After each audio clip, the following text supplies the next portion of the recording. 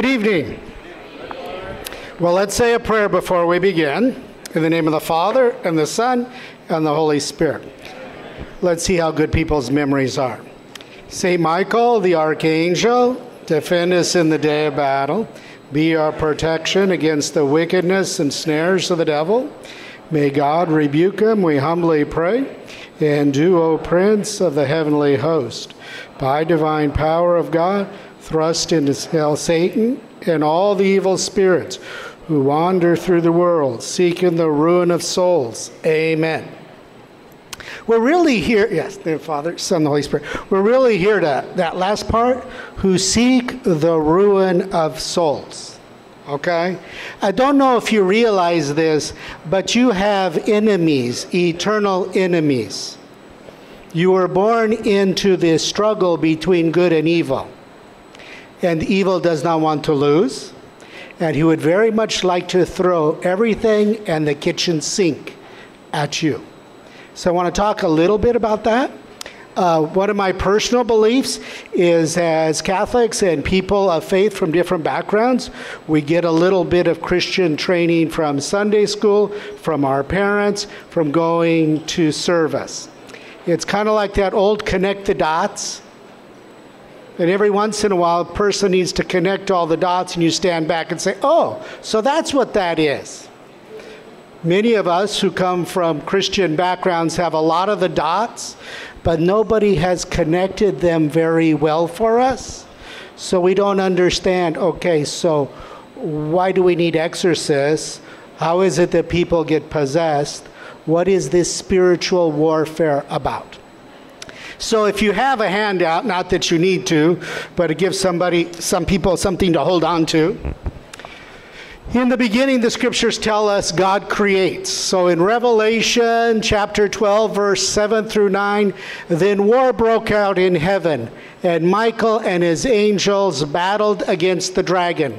The dragon and its angels fought back, but they did not prevail, and there was no longer any place for them in heaven. So, from what we understand from Christian teaching for 2,000 years, and actually goes back to Judeo times, God created in an instant the heavenly court, all the angels. He disclosed to them his plan. That at some point in time in the future, God would become incarnate. He would make these other beings from clay for the salvation of humankind. Lucifer, which means the light bearer, who was the greatest of all the angels, decided wait, wait, wait, wait, wait. You're going to become like your creation? If you're going to become like anything, you should become like an angel. We're more like you than these clay dolls are. So there was this great jealousy that how is it that God is going to become human and not an angel? And part of that, revealing that to Lucifer and the angels, there was this one piece that they really struggled with and that is when God becomes man, the man's mother will become queen of heaven one day. Because in the ancient world, if you became king, whoever your mama is automatically becomes queen. Okay? That's part of the deal. Okay? So if you rise through the ranks and you become king one day, well, you know, not too long ago, we had what, the Queen Mum in England lived to be almost 100. It's just normal that the son kind of turns to mom and, Mom, what do you want? You know, um, in the 300s, and the name is escaping me right now, who became emperor in Rome, Constantine. What happens to his mom? She becomes queen overnight. Mary's role as queen, Satan couldn't handle. He said, No, no. You know, you becoming human, okay, that's a little hard to take. You really should become an angel. but that we would have to reverence, respect this woman that comes, what, Queen of Heaven? Oh no, we're not going to do that. And so there's this war that breaks out then in heaven between God and the angels, let's say the good angels and the negative angels. And eventually, here, God will cast out the angels that have gone bad. That's what a demon is an angel gone bad. No longer wants to serve God, no longer wants to be part of the divine plan. Well, he sends them to earth. The huge angel, the dragon, and the ancient serpents, who is called the devil and Satan, who decided, who deceived the whole world, are thrown down to earth. Its angels were thrown down with them. Well, who's living on earth, my friends? It's us. How many of you know somebody that's not over a relationship? Okay? And they broke up with so and so, but they're so not over it that they poison any future relationships over there. Okay? They just can't go their own way and be happy. So it's like that person can't be happy without me, so no matter who they're dating, somehow I'm going to mess with them. All their places in heaven that the angels had in the heavenly court remained vacant when the devils fell. Scripture tells us about a third of them fell.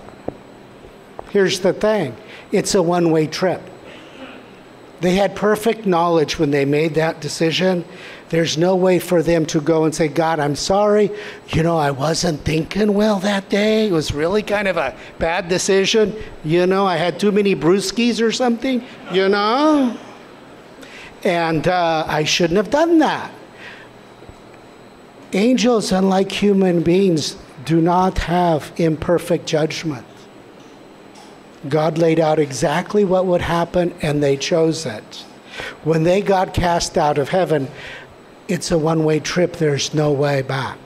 But the thing that really gets them is that you and I, who choose to live as God's children, and who strive to spend eternity with God will be where they cannot return. And it's bad enough that they can't go back, but that you can be where an angel was. He's like, he's not taking my chair, okay? If I gotta mess with this guy so he doesn't go to heaven, hey, what else am I gotta do? Okay, I've been cast out of there, got nothing to do for a few millennia until the end of time comes. And you going up there? What? Who are you? I was an angel. And you? You're going to go take that place? No, no, no. I'm going to mess with you because I don't want any of those human beings up here. If we can't go back, then nobody should be able to go there. It's like the boyfriend or girlfriend that doesn't give up I think we have a saying, you know, it's like the the ex from hell. right? Like the ex, you know, you know you're not going to get back with them, but they manage to get involved in, break up, cause all kinds of consternation because they cannot handle you being happy. When they left God's presence, everything good went. They have no more patience, no more love, no more kindness. All those are attributes of God. All they have is hate, revenge, jealousy. That's what they live off of. And they look for people to mess with. This is really important. If you don't understand this, a big part of Christianity honestly does not make sense. I was out of the seminary for like 10 years, a priest, and I listened to a professor teach this. I thought, you know, uh, they should have told us this in the seminary. It would have made many things much more understandable.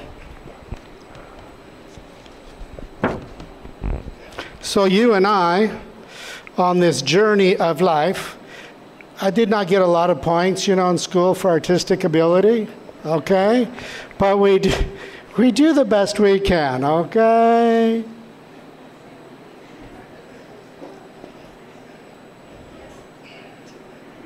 All right. So, along this journey of life that we have,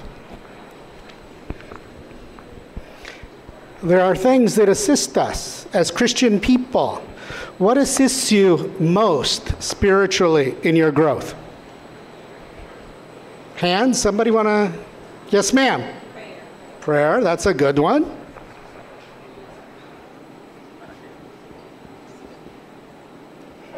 Next. Adoration. Adoration. All right.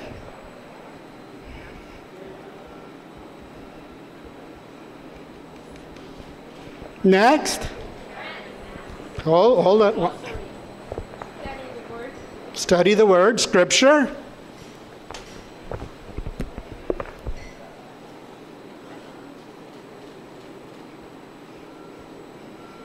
Somebody else? Pardon? The rosary? Okay.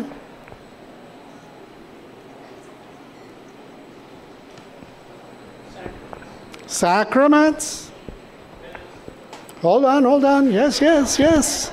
I, I, I need an assistant that just writes, okay? Penance?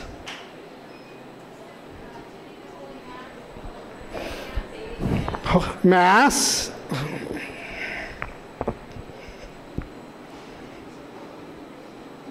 Helps if I spell it right.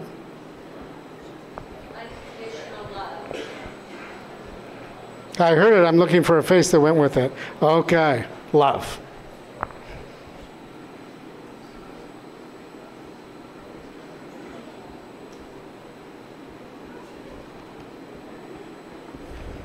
So we have these building blocks that our families, our churches, our different religious traditions have taught us. Anything else we want to throw up there? In the back.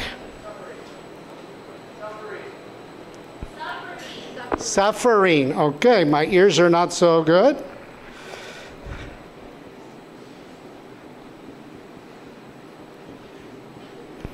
Next. Angels. Okay. I'm just looking for a face with the words, okay? Couple more. Fasting. Fasting.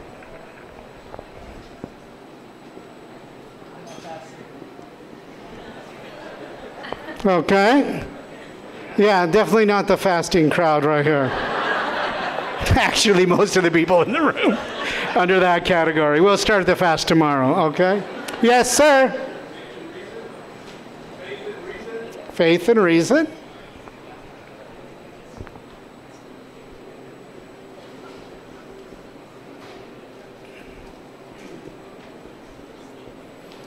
We have a lot of other ones we could add in this, okay?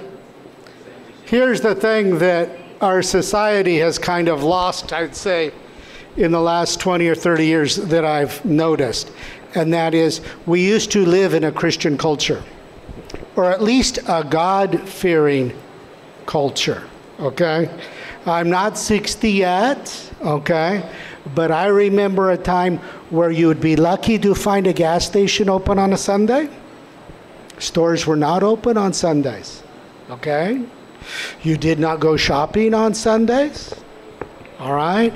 There was no Sunday football, you know, which is another God of its own color and shape. We will talk about that some other time. Okay? And so what has happened? Many of these building blocks, we're not seeing them there in the next generations. The understanding of God, sacredness of life respecting one another. See, this whole system as Christians was designed to propel us in a life toward God. And even if you weren't very devout, in the day, just about everybody went to church, to church somewhere. Everybody was not offended that if you sent them a Christmas card, season greetings did not quite catch on yet at that point in time. So society was helpful in helping people really focus about their destiny with God. Well, evil is a counterfeiter. Evil does not create, God creates. Evil can subvert what God creates, but it can't make things. Okay? So just like we have this uh, direction one way, there is evil prayer. You know, there is a satanic Bible. Yeah, that actually, I should explain a little bit. My day job is a prison chaplain. Okay, I work in prison. Been there for eight years. Before the eight years there, I worked at the state hospital that was brand new that uh, treated rapists and child abusers. I've picked the easy job for the last 10 years, okay? I keep asking God, so there wasn't anything else exactly on the list of things to do? You had to give me the, the really super stuff? Okay. So Satan loves to subvert what God has in place. So there's a satanic Bible. I actually had a prisoner ask me for one one day. Okay? They have worship services. You don't want to hear what goes on in there because it's pretty disgusting. Okay?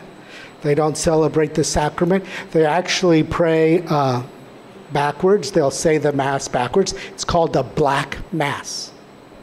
They actually have the crucifix inverted. They will uh, defecate and urinate during their services. It is pretty disgusting kind of thing. But people get involved in this. So they have, yeah, satanic study. I'm not sure what their equivalent to the rosary is. If you look very carefully on some rosaries that are printed that come out of China, um, they're a little odd. They look like a rosary. They've got, you know, all the beads in the right place. But if you look at the cross very carefully, it's not a cross we recognize. And there seems to be someone on the cross, but there is this serpent that circles around the cross and at the points where the hands would be and the head would be, there's a shining, looks like a sun. It's a very unusual thing. Don't know exactly where that's come from, but it's not coming from Catholics in their tradition. They don't believe in forgiveness, so they don't need penance. They have. Uh, they commit themselves to following the evil one. And if they leave the coven or following him, there's very serious penalties and sometimes even possession. They will dedicate their children and their offsprings down many generations if they ever turn against the evil one that they would be possessed. So, like we would dedicate a child in God's church to God, they dedicate their children to the evil one. They have a black mass. They have demons.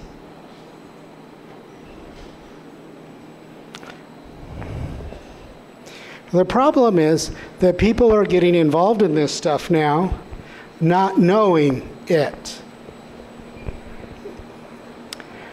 I don't know how many of you would know this, but if you ever watched Harry Potter, any of the curses, incantations they take, those are not made up. They are true curses.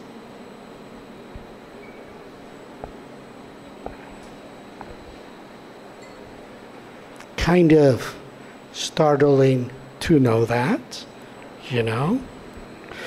And people get involved now in typing up and Googling curses because they broke up with somebody and they really are mad or angry. So why don't we call down vengeance on them?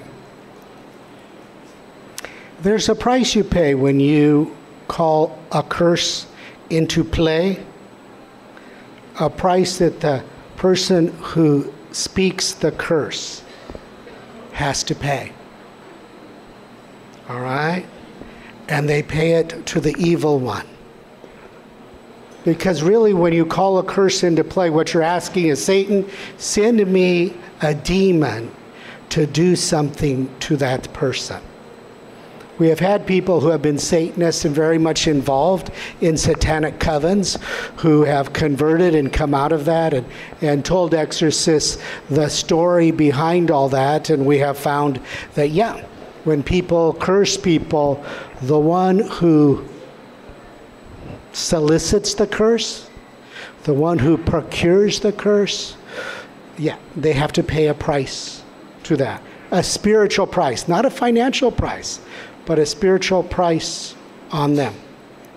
So, why do I point this out? Because in the old days, most people, because of society, because of our folks, because of families, uh, were pretty much kind of in a stream, kind of headed upwardly. We felt bad if we said something wrong. If someone tell, told you to go to confession, you didn't take it like a slap on the face. Said, Yeah, I need to do that. Now people say, What? Do what? Say, I'm sorry, why? No guilt, no sense of remorse, right? Well, now people are really hovering much more on the center line here, and they get pulled away pretty easily. We have had people who were involved in heavy metal and in drug lords, okay, who do a lot of drug trade. You know, they pay Satanists to come in and curse the drugs to make them more addictive spiritually. Okay? So a person's not just breaking an addiction of a chemical, they're also a spiritual bond, evil bond, that's placed on them. I was uh, at the International Exorcist Conference in Rome about three years ago, and one of the people that spoke had been very involved in heavy metal. And he said, You know, our songs were not selling at all. And then we paid this person to come in and curse our music, and the music started selling like hotcakes. Same music. We have to be careful where we're treading because he'd love to pull us over the line. There's a, a saying in Italian, we don't have it in English, and the saying basically is if you start if you start slicing the salami, very soon the salami is all gone. No matter how thin you slice it, if you just keep slicing it, eventually it's all gone. The devil has your whole life to get you. He'd like to just take you a slice at a time. He's watching us. You know, he assigns a demon to watch us. Just like God assigned an angel to be with us, the devil assigns a demon to come and, you know, tempt us from time to time. Find out, oh, okay, so this is his thing, you know, a little bit too many beers on tap, and, you know, keep a good eye on us. So slowly, he'd like to take us. Some people, oh yeah, so I quit going to Mass. You know the number one reason why people of faith quit going to church? See if you get this. Number one reason they move. They move. They used to be going to St. blah, blah, blah, blah, blah. They knew Father, they knew the nuns, they knew everybody there. They felt very comfortable. They got married, they moved, whatever, went to St. Bartholomew now. They go to the church the first time, they don't know anybody, don't know the priest, they don't feel comfortable. Now they're busy moving in and doing things, getting kids into school, into their job. It kind of goes by a week, a month, you know, goes by a couple of months. They get out of the routine they quit going. The bishops of the United States spend a lot of money with many studies trying to figure out why is it they drop out. Number one reason, they move. And after they move, they do not reestablish themselves in a new community. And they don't take it to know, you know, it's probably going to take me two, three months to feel comfortable in this new church. It's like that uncomfortable period in the new gym or the new job, you know. You kind of just have to take it for a couple of months and know, you know, until I feel comfortable here, it's going to feel uncomfortable. It's like the new pair of shoes, okay? For the first few weeks, I say I shouldn't have bought them. I should take them back. I don't like that. They hurt. And then after they get broken, I kind of like them then okay? We lose more Catholics when they move. So when you have new people into your neighborhood who move in, you should say hello. You should welcome them. Say, where do you go to church? Let me point you to where it is, you know, Presbyterian, Baptist, whatever it is. Encourage them, help them. Otherwise, we lose them. They become more of a target. Because what's strengthening them? Because the evil one certainly keeps coming at us, no? If you look at your paper, the bottom of the first page, the ordinary activity of the devil is temptation. We are all experts in this category. Okay? We could tell many stories to young people about temptation and the struggles we have had. That is normal for everybody. Okay? Essentially, nothing more than an attraction to commit sin.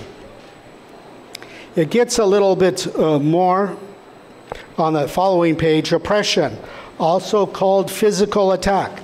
Oppression often takes the form of mysterious blows raining down on an individual or scratches inexplicably materializing on their body. Demons take a little direct attack. I've had people tell me, you know, I was walking down the stairs and just felt like something pushed me. You ever had that experience?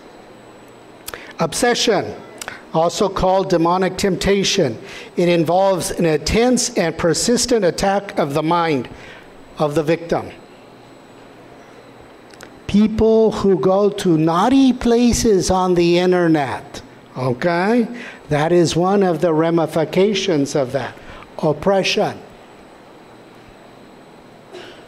The devil works the internet really well. You know, about a third of the sites on the internet are pornographic. a third. He's got a lot of business going there, okay? And it's helping people go the wrong direction.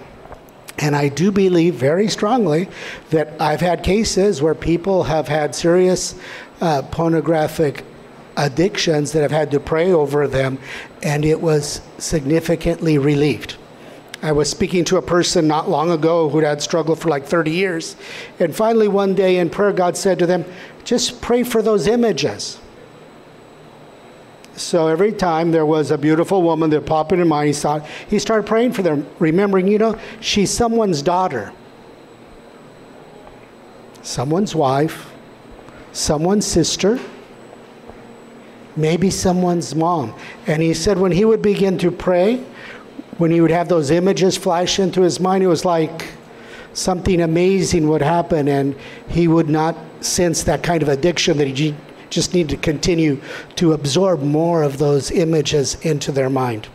I really encourage people to do that. Those of you who have kids, if you don't have filters on your webs and on your computers, very dangerous place because things pop up even if you don't go there. There's just one click away. You don't think he's working this and taking advantage of this? You know, there's a scripture passage, it's one of my favorite ones. Jesus says, We need to be as innocent as doves and as clever as serpents. Okay? We Christian people work really hard at being innocent. We need to up our game at being clever. Okay? We really need to up our game at being clever. I hate to tell you because I work at a prison, I'm much more suspicious about many things because of that. Okay? And so, you know, he takes advantage of us, our weaknesses. He watches us. Do you know? It's like in the garden. What's he do? He takes this apple, shines it up, and goes to Adam, says, just like a bite, you could be like God. Here's the thing it's part truth. You be like God, He'll know the difference between good and evil. I could live my whole life and not know that, and probably would have been really, really happy not to know that. Okay? So, a little bit of truth and a lot of lie. I work with a Jewish rabbi, and Jewish rabbi said to me, he said, you know, part truth is a whole lie.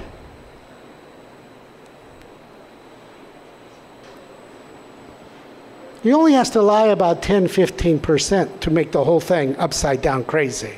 He only has to lie about the fact that, oh, by the way, Adam, you know, in the fine print, you're going to lose heaven over an apple. I really want to talk to Adam about that. Okay? He had all the trees, all the vegetation, all the animals, just one tree to stay away from. Okay? Just one tree, everything. What's the deal here? You know?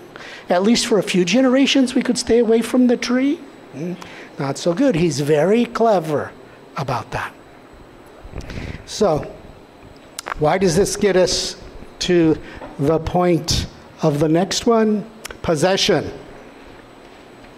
Possession, it appears that someone has taken over their will or the person is under the control of an evil spirit. As they get more and more involved in evil things, Satan slowly invites them to be close to him. It's actually the absolute opposite of a saint.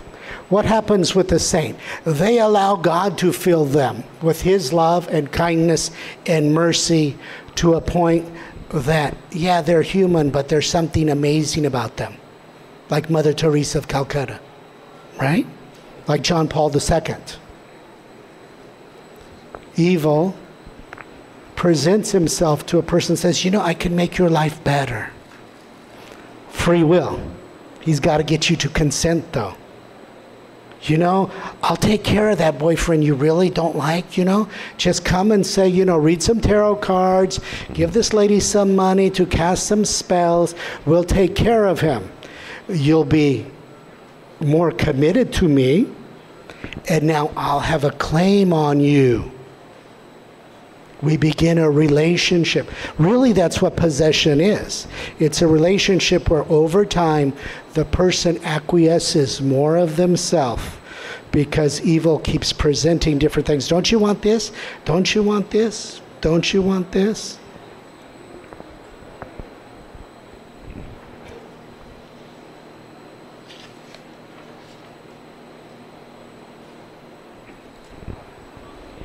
So, where does exorcism come in?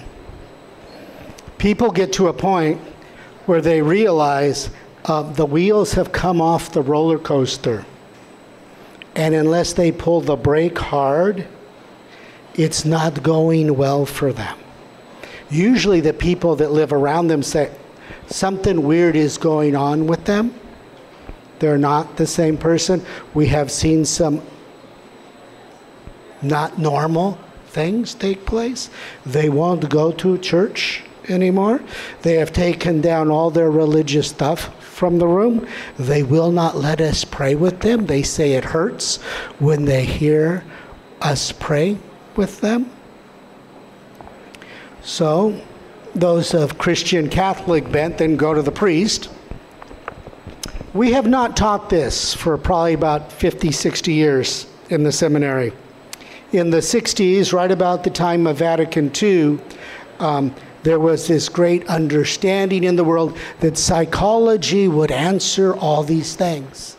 That actually, all these things in the scripture where Jesus cast out evil spirits was really, you know, psychosis and other things that they did not understand. Like the Son of God doesn't know a sick person from a possessed person. And so they really quit teaching this. We did not in any way in the seminary study evil. How to combat it, how to help you with that. Very sad to say. So there has been kind of a resurgence in the last mm, 10, 15 years by a number of priests, by some of the books that have come out. Uh, Amorth from Rome, the big exorcist from Rome, started teaching about it. Uh, exorcist tells this tale, and all of a sudden it was just like whoosh. And the Exorcist movie, you know, the confessional lines. The week the Exorcist movie came out, the priests tell me who are still alive were immense because people realized they were messing with stuff they shouldn't be messing with. Now, the average person who lives somewhat of a Christian life doesn't really need to worry about this. You're not really a good target for the evil one. Okay? It's going to be more work for him because he's got to turn you first from God. He's got to get you involved in other things. But the people who don't go, then they start shopping for crystals, for wands for kids. Why would you buy a wand for a kid? Okay? Like, what? I'm going to conjure some power? Well, from a Christian understanding, there's only one source of power. If it's not coming from Him, it's got to come from Him. And there's a lot of connections and a lot of, shall we say, uh, payback that's going to happen.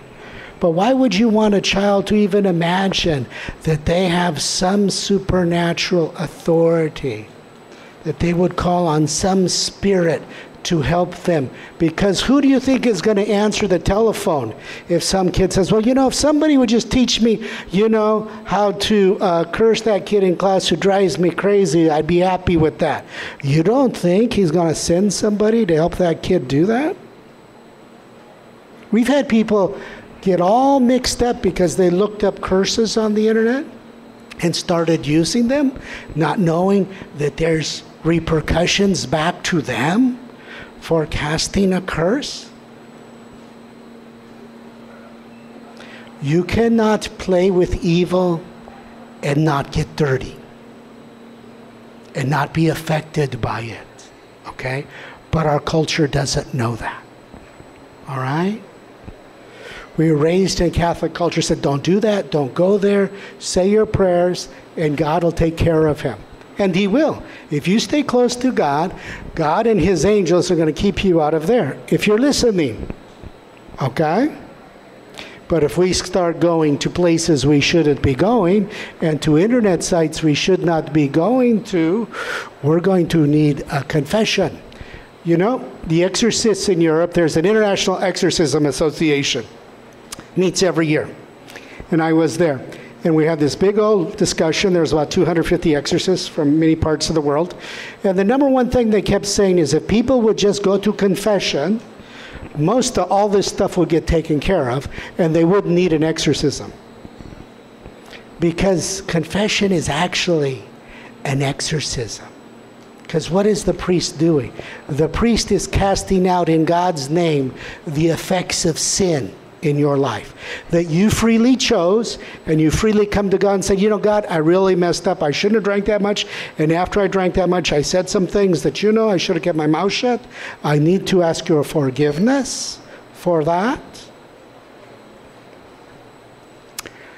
How many of you heard the story about St. Teresa the Little Flower, where people would smell roses if they would pray to her and they would sometimes have the scent of roses, and it was a sign for them that St. Teresa was going to answer their prayer. How many of you have ever heard that story? Okay. You know, and this is Satanists tell this directly, that when people are involved in serious sin, they smell spiritually. And demons sense that smell, that odor. Just like we say in Catholicism, there's an odor of sanctification, that as people get holier and holier, there's like an aura, there's a presence that they give up. Satanists tell us, because they talk to demons a lot, that the demons can tell in a room a person whose soul is seriously affected by mortal sin. They hover around them because they smell good to them. They want to hang with them because they know, oh, I don't need to do a lot more. He's already in our camp. I just to give more opportunities to sin. And I'll lead him farther down the road toward us one of the most powerful things you can do, or if you know somebody that you really believe may seriously have some form of possession, oppression, is help them go make a good confession. Because what are they doing? They're saying to God, God, I messed up. I'm sorry. Would you lift this from me? Every exorcist that's ever done always begins with the person who's going to be prayed over. You go to confession. There's going to be a priest right in the next room. You go to confession. After you go to confession, you come into the room and we will pray over you. Because when we choose to do sin, if we don't ask God to forgive us, it's still with us. We chose it. Free will. As part of the free will problem. If we choose good, the good accrues to us. If we choose bad, evil accrues to us. So how do we go and say, okay, I want to get rid of this? I've helped number of people just get better spiritually by just telling them, go to confession. I had a telephone call. I'm speaking at Anaheim in two days from a lady down here, saw a flyer with my name on it. So she calls me and tells me, I've been doing astral projection. Okay? So this is where you will your body to go somewhere and speak to someone. Totally forbidden from a Christian standpoint. Okay? And she goes, You know, I've been doing this for a while, but now I got these beings talking to me and doing things to me, and they're really uh, bothering me now. And I said, You need to go to confession. She keeps on going. So, third time, you need to go to confession. Goes, I don't need a punishment. Time out. Time out. You know, when we do bad things, the way that God clears them out from a Christian Catholic understanding is by asking forgiveness.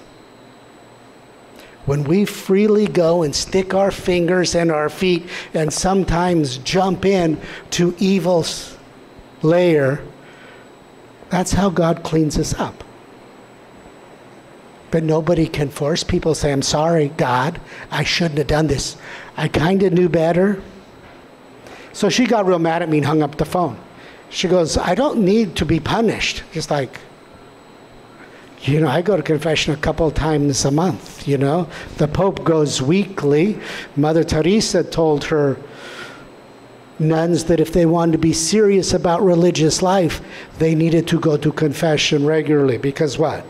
Because evil's always coming at us, even if it's just little stuff. And so, how do we clean that? How do we get rid of that so that they don't have a hold on us? By going and asking God's forgiveness. I had an inmate that I worked with for a while. Uh, who had been in prison a while. He'd been in prison more than he'd been out of prison. And after I'd been there, and he'd been coming to Mass for a while, and he said, Father, I have a real hard time sleeping. I, I can't sleep. I get these really bad dreams. They, my sleep has not been good for years. And I said, Well, when did it happen? That's always the loaded question. When did it start? Because usually something significant happened right about that time. He got real quiet and he says, Well, I never told anybody, but you know, I've tried to commit suicide on three different occasions. Mm. Have you ever confessed that?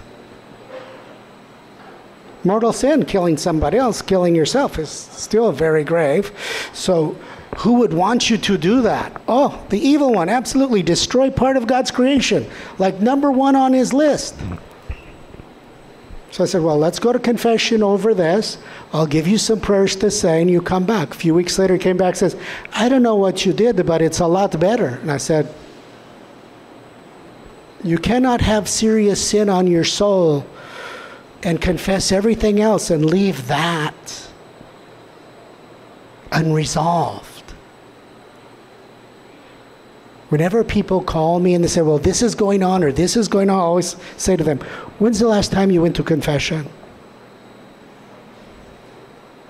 I say, You find a good, patient priest and you make a really good confession, and then you call me and we'll talk.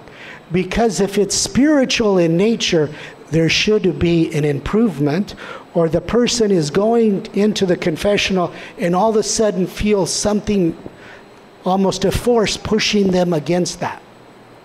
That's the number one thing for me when people call, and I get these calls from all over. A lot of them from the LA area, okay? a lot more people here than I've got a little county, okay? My church has like 400 people in the church I live at besides the prison. And I always say to people, you go to confession, then you tell me, did it affect you? Is it better? Is it worse? Are you going to Mass? Are you praying? Well, it's harder to pray now. It's a good sign it's spiritual. Or if you do all these things, well, nothing's changed, then mm, maybe psychological. We might have to go down that avenue, and I may have to refer you to somebody with psychological expertise to really look at, you know, maybe this is not spiritual at all, but a psychological issue. Often we have people that have both that are going on at the same time. So if you take nothing else from this, don't be so afraid of this one. Live your life. Live what Christians have been doing for 2,000 years praying, the sacraments, adoration, works of mercy. That'll help you grow in your faith. It's like working out. We use the muscles, they get stronger. We don't use the muscles, they get weaker. Use your spiritual muscles, do your different practices of faith and devotion. You'll find yourself much stronger. He won't want to mess with you. He may mess with your friends and family, and when you see it, you'll know, okay, I know what this is. So do that. Help people return to the practice of their faith and if it's been a while, you know, good Catholics, whatever denomination, you know within 20 miles of where you live who you would send somebody to to talk to as a priest or not. Right? And you know who you'd say, I wouldn't go over there, okay? He's not going to be real helpful. Maybe you talk to sister in that parish, she'll be a little bit more helpful. But if you've got somebody that you really consider has spiritual issues, send them to somebody that will sit and listen to them. You know, there's usually only one or two exorcists in a diocese. The way it should work is that people of faith who have someone that they know or suspect is having serious issues would go to their pastor and say, We know this person, we've known them for a long time. Something is going on here that is not just psychological with them. How do we help them? The pastor, who is probably going to know nothing on the topic, says, uh, Let me call the bishop's office to say, What do I do next? Because it's impossible for one exorcist, let's say in Orange, that has how many millions of people, to get telephone calls from all over the diocese of Orange. So usually the bishop says, No, this is going to be confidential. We're not going to give your name out because your answering machine is going to blow up the calls will be unending once your name gets out there. So we're going to have to investigate each situation, and those that we believe to be uh, true, then we need to send them off to the exorcist and his group that prays with the person to begin to discern okay, is this truly supernatural or not? I want to give you guys time for some questions or clarification if some of the stuff did not make sense to you. Yes, ma'am?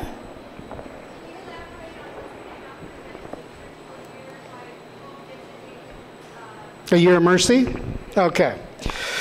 John Paul II started in preparation for 2000, um, dedicating a year for different things religious life, family. So, Pope Francis, starting well, December 8th, is the year of mercy. There'll be different things that come out with that. The press is making this big thing that the Pope now is allowing priests to absolve uh, people who commit abortions men or women, because if you pay for it or you give advice for it, you're actually on the hook for it too. Okay? In the United States, most bishops had already given the average priest authority to do that. The way the Code of Canon Law read, if you committed murder, okay, particularly of a child in the womb, you had to go ask the bishop permission can I absolve this person? for this because it was considered a reserved sin. It was reserved for the bishop to approve. There are some sins reserved only to the Pope. If you desecrate the Blessed Sacrament, it's reserved to the Pope to forgive. Okay? And so, um, most bishops in the United States for the last 30, 40 years, automatically, when you became a priest and you were working in his diocese, he gives you this whole long list of things you can do. You can hear confessions, you can marry, you can bury, you can blah, blah, blah, blah, blah, blah, blah. And one of the things was always on the list is yes, you can absolve people who have committed abortions or been involved in abortions. It makes the press, because the press doesn't understand us and it makes it like a big thing, like all of a sudden, this has been going on. The only place it really matters is in some dioceses where the bishop hasn't done that. I don't know of any place in the United States that the bishop hasn't automatically given his priests the authority to forgive uh, people who have committed abortions, the faculties, but because he's Pope, when he says that, it covers the whole world. So, the priest doesn't have to ask his bishop for permission for that for the year of mercy. Yes, sir, and then over here.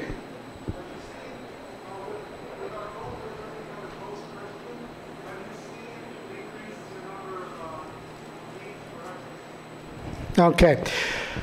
We had this little discussion. There is a, a school that's started a couple years ago.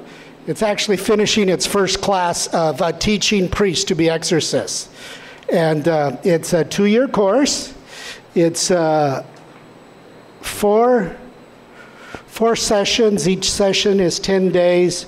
So it's six months, you go for 10 days, then you're off for six months. It takes two years. What they're saying is, in basically about nine, it's dead. Okay. So about 1968 or so, confessions kind of started dropping off big time. All right?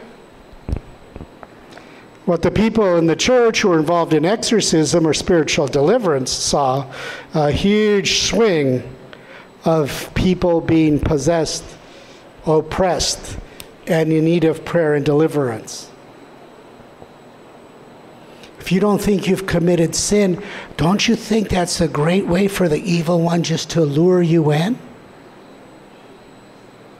I've got a, a, person over here, sir, and then I'll be right with you. That's, that's just perfect for him.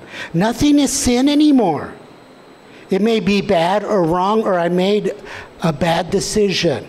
When's the last time you heard somebody said, you know, that was sinful, I shouldn't have done that?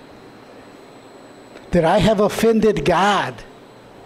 And that I need to make right by God. We've lost that in our society.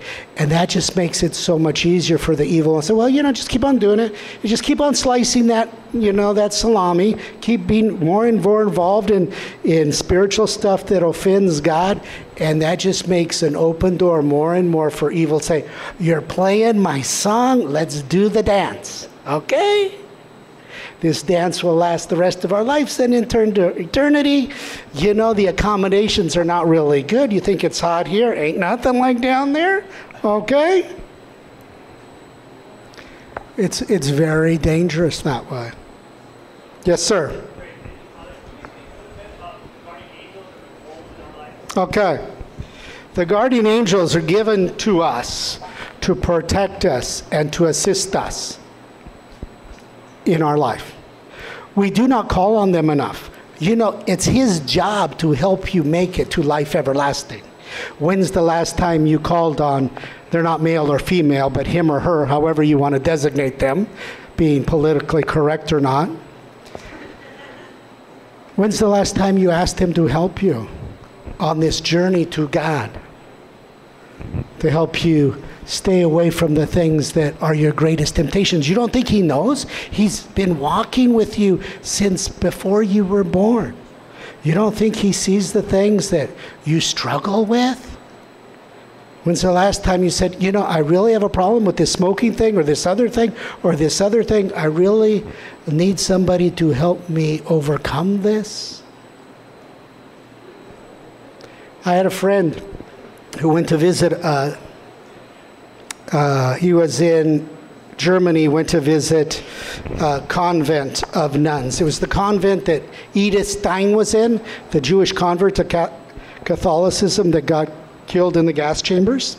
And he was there and he was talking to Mother Superior about this group. There's about 20 nuns there. And he said, You got any other Edith Steins in here? He goes, Yeah, got a couple of pretty holy ladies. And the nun, Mother Superior, just turned and just said a phrase that probably I'll never forget. He told me, he said, Everybody's as holy as they want to be.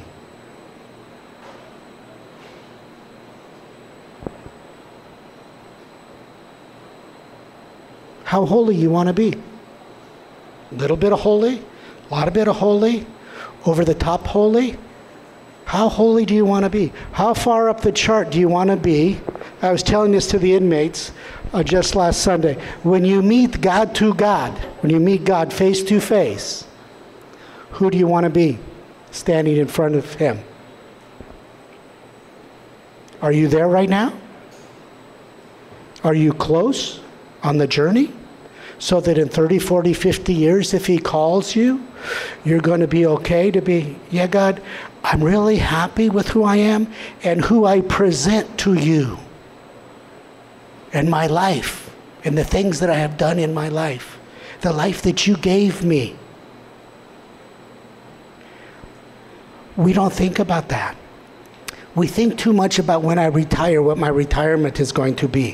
What age am I going to retire? Where am I going to vacation?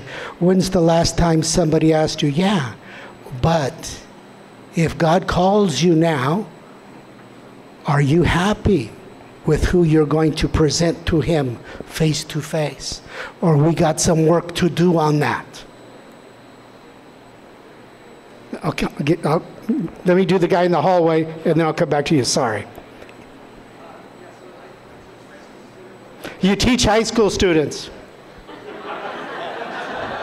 They're, they're an easier crowd than my crowd. I mean, they're a harder crowd than my crowd.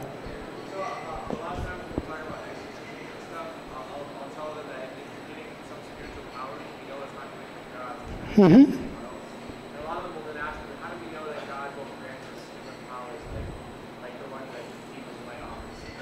You know, this whole power thing is really kind of interesting. It's just kind of like, hasn't God given you what you need to live this life? What? He, he put you on this earth, gave you a brain, gave you abilities, and didn't give you enough tools in the thing so you need spiritual power, read minds, you know, something amazing. You know, it's not like the saints ever said, God, you know, I got short cheated on the spiritual power stuff. You know, I want to renegotiate this thing. Um, it's, I find that very fascinating. It's just like, so what are you missing that you need that? Maybe it's a whole inadequacy thing. I don't know. You know, I never, you know, I thought it'd be nice to be invisible sometimes. You know, I grew up in a big family, six kids. Sometimes I just wanted to phase out, like not be there in the midst of all the ruckus and everything, you know, can't find me. So we should talk afterwards. I find that a very interesting comment. Yes, sir.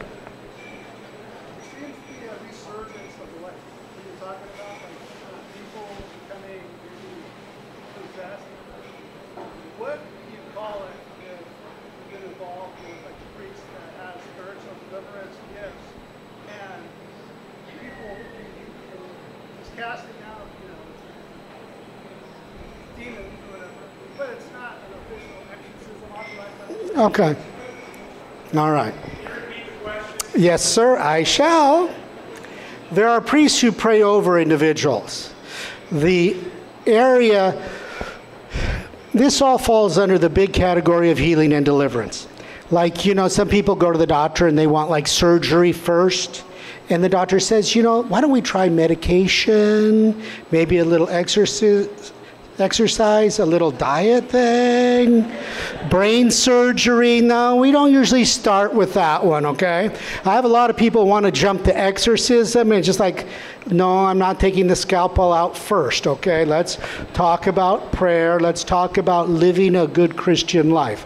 His question was about priests who pray over people. The main ad- categories healing and deliverance. People pray over them. You have often priests who travel through the area who do healing workshops, prayer and deliverance workshops. Any priest can do that, all right? Most of them have not been trained, don't know how to do that. Exorcism is reserved by the bishop. The bishop is your exorcist, okay? When he was laid hands on, you know, and they made him a bishop, that's one of the things he got with that, all right? Since about the 300s, the Roman Church has reserved that to bishops, and bishops only can say, okay, guy, you're my priest. I need an exorcist in this area. You can do them, but I approve every case and every situation. But regularly just praying over people, like some priests do, and there's certain healing and deliverance prayers that priests can say over people. There are people, prayer teams who work with them because sometimes if you're praying over a person and they really are possessed, they can get rather violent. It's not like the devil likes it, okay? And sometimes you have to hold them down so they don't hurt themselves and hurt anybody else. So when I pray with people, I have a prayer team. On my prayer team, I have like three psychologists, uh, an MD who's not always there, and five or six men and women involved in that because you never know when you start praying what happens. Sometimes we start praying, person does not tweak, does not move, nothing happens. Sometimes, oh yeah, we need to hold them down because they're becoming very violent.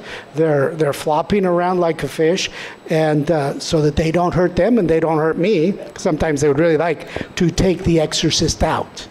Okay. Does that answer?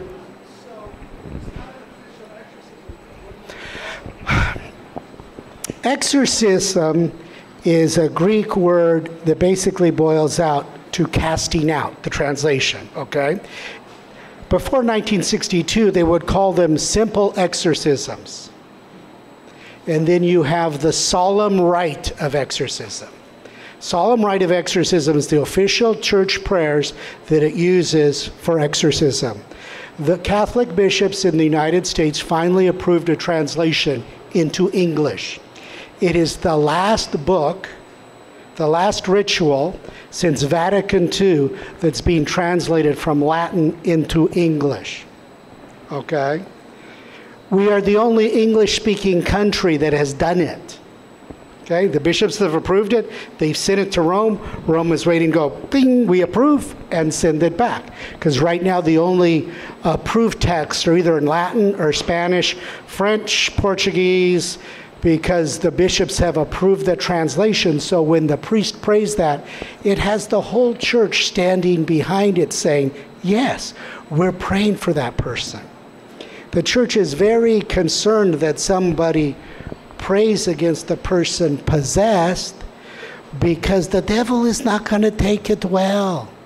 And he's going to come back at the person who prays against them. Say, Oh, you're kicking sand in my face? Oh, well, so it's between you and me? I said, No, no, no. It's between you and the Roman Catholic Church and the ministry of Jesus Christ against you, evil one. I'm just a servant of God, okay? It's not my words that make this happen. It's that Jesus sent us out to go out and cast out evil spirits. And the Roman church and its authority tells me that I can use this in this situation. So it's not just me. It's the difference between simple exorcism. We don't like to use the word because it gets people all thinking about the Exorcist movie and spinning heads and spitting green stuff, all right? But in, that's how they would characterize it. It's exorcism and then the solemn rite of exorcism. Yes, sir, and here comes the priest. I'm probably going to get pulled the plug on. Okay, the guardian angels. You know there are prayers to the guardian angel. Um, I definitely would put up an image. You know, one of the things we had in Catholicism in the 60s, you could not walk into a Catholic's home and not see something religious every time you entered a room. Part of that was to remind you that you're on this journey. This is just a passing world. I had a farmer tell me a number of years ago when I worked in a little parish. He said, Father, I finally figured it out. And I said, What did you figure out? We're just passing through. Yeah, we're just passing through onto our final destination. And while we're passing through, how are we treating one another? Good, bad, or taking advantage? You know, I hate to tell you, but even to trump the guardian angel, Mary's the one that crushes the head of the serpent in the scriptures, okay? He hates no one the way he hates her, all right? Because as he was very obstinate and proud as an archangel, here you have Mary. Great humility. Do whatever God wants me to do. He hates that. Absolutely hates that. Now, you can ask Mary to guide you, to protect you. There are prayers that people actually say where it says, Okay, Mary, would you put me under your mantle? Protect me from the evil one. Every exorcist I have known has says he has a very deep and profound relationship to the Mother of God. Because she is the one that crushes the head of the serpent, okay? No one knows the enemy the way she does. Okay? And Jesus gave her to the disciples to be their mother. And the church from early on, it says, you know, she's the mother of the church.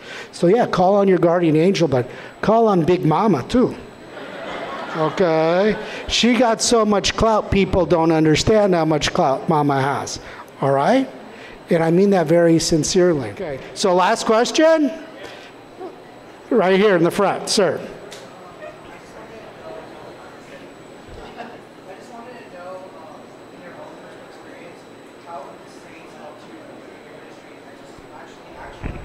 Okay. And an, an, an exorcism really begins by a litany of the saints. In the litany of the saints, demons have their nemesis, which are some of the saints. So you're praying the litany of the saints. You add in everybody's patron saints, you know, baptismal, confirmation. And every once in a while you get a bing, boom, I had this lady that every time I'd say St. Michael, she would get. And so I was in a mischievous mood, and so I said to her, What's the matter? Everybody likes St. Michael. And the demon says, No, no, we don't like him.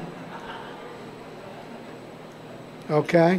So there are certain saints that are known to affect demons very specially.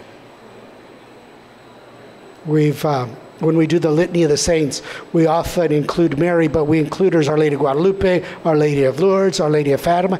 Every once in a while, we'll get the demon to react to her under one title, but not under the other one. So then I go Google, okay, so I want, you know, a special devotion. Let's do, you know, uh, a prayer to Our Lady of Guadalupe a person would react very strongly to Mary under the title of Our Lady of Guadalupe. So I pulled up the text from uh, all the words that Juan Diego said that Mary said to him.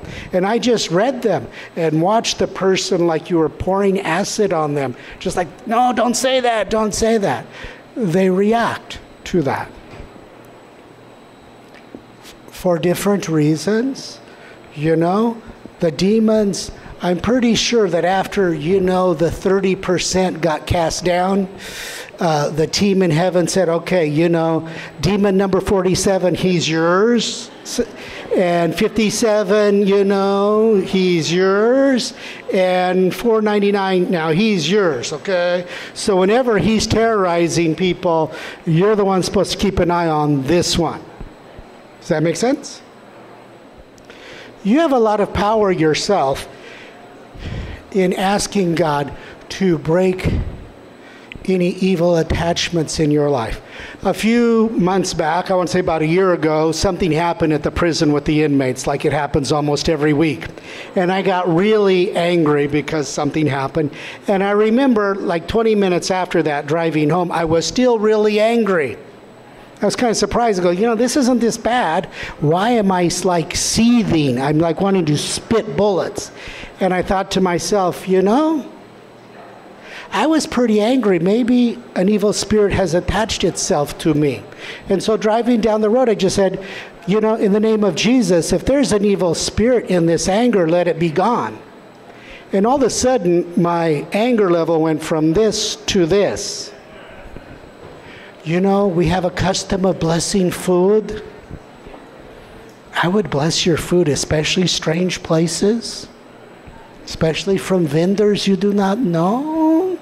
You know, in the old world, people used to get poisoned that way, get taken out that way. That you bless your food because you don't know where it goes from, what kind of MSG and all this other stuff we can't pronounce is in there. What's that going to hurt? That we take some ownership in our spiritual life and that we own the fact that I'm going to become as holy as I want to become. And how many of those bricks, how many of those different spiritual practices are you going to use to help you grow in faith?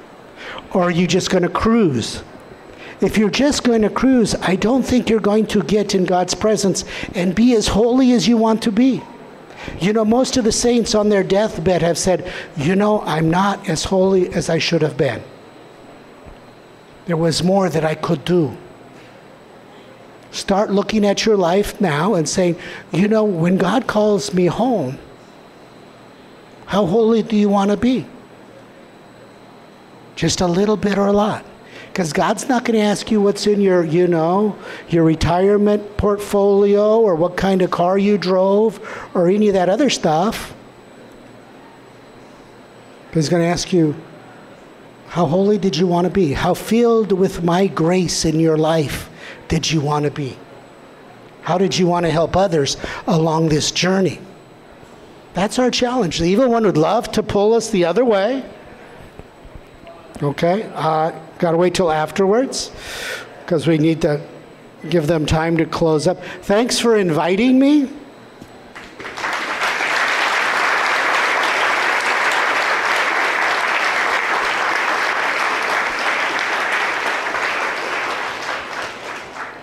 take your spiritual life seriously.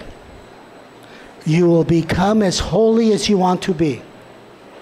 Pay attention where you spend your time on TV, internet, all those other things. I hope you have some religious apps in there, some religious music. You're watching some things that feed your soul to grow. Okay? It's just like a muscle. If we don't feed it, how's it going to get stronger? It, ma- it makes us an easier target for Him. I would plan one day to see you all in God's kingdom. And I would hope that this talk helps you a little bit about understanding the struggle that you and I are going to have to live through until God calls us home. And that you use the tools that the church gives you and that the Lord has given you from the very beginning to assist you on this journey. Have a good evening, and let Father say closing prayer.